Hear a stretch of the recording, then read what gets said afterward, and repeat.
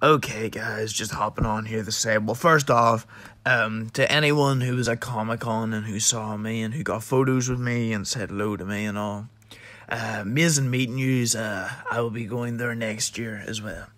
But um, just hopping on here to uh, give an update on Joker versus Lavo. Lavo has decided to continue the fight. It's not being held back. It will be happening on Monday.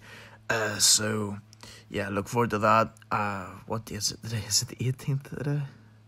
Yeah, so it'll be happening tomorrow on the 19th.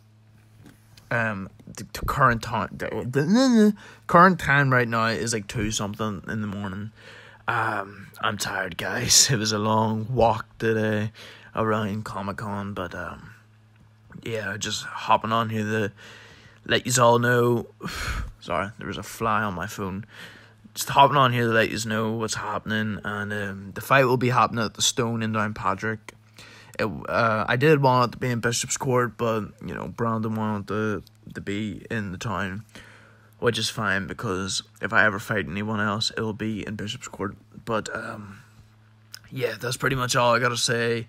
Uh, take care, love yous all, and have a good one.